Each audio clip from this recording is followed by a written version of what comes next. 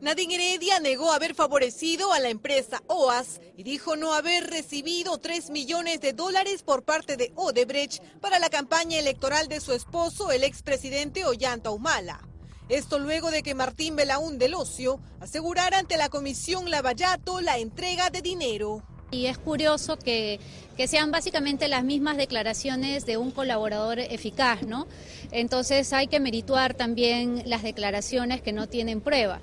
Eh, yo creo que la Fiscalía va a tener ahí un trabajo que hacer, que corroborar los dichos de, de personas, porque decir muy alegremente cosas no significa que eso haya ocurrido. Aceptó haberse reunido con el ex representante de la empresa brasileña en el Perú, Jorge Barata, pero dijo que los encuentros se dieron en el marco de reuniones sostenidas con distintos empresarios en la campaña electoral. Nos hemos reunido eh, y yo he acompañado al candidato en reuniones con eh, empresarios, no solamente de Brasil, de otros países también incluso, pero de eso pues no puede venir que se entregaron, eh, primero dicen 300, luego 400, luego un millón, luego 3 millones, ya es como que los números eh, eh, se desdicen entre sí, ¿no? Heredia Alarcón restó importancia a las investigaciones de las comisiones investigadoras del Congreso de la República.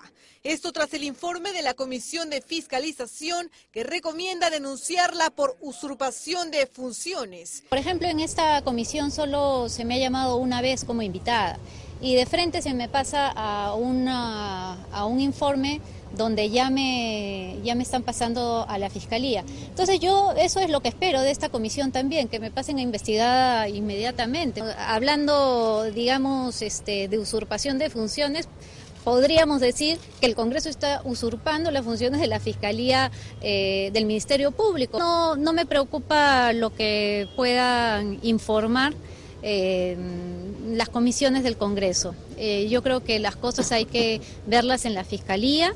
Fueron más de cinco horas frente al grupo de trabajo que investiga la entrega de coimas de empresas brasileñas.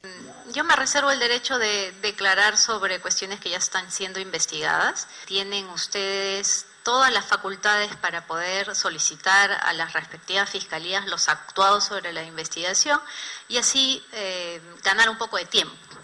Cabe indicar que la ex primera dama no aceptó juramentar antes de responder ante la comisión. Indicó además que no conocía los temas referidos a proyectos de inversión de la gestión nacionalista, pues no fue funcionaria pública.